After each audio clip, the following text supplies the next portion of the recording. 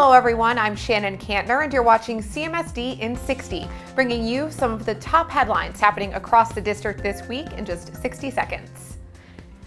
Students at John Marshall are brewing up an exciting Monday morning. It's the opening of the student-run Lawyers Cafe, serving Rising Star coffee and espresso drinks. The cafe opens at 7.15 a.m. Once you're caffeinated, join the mayor, Councilman Matt Zone, community members, and students celebrating Walk to School Month and the public launch of CMSD's Safe Routes to School initiative. It starts at 8.30 at Louisa May Alcott. Tuesday is the annual Hometown Huddle with the Cleveland Browns and United Way teaming up to build a new playground. It's happening at Luis Munoz Marin from 8 to 4. And starting at 4, it's your second chance to try out for the All City Musical. Auditions run from 4 to 8 at the Playhouse Square rehearsal halls. Any Cleveland student in grades 8 through 12 interested in singing, acting, and in dancing is encouraged to audition.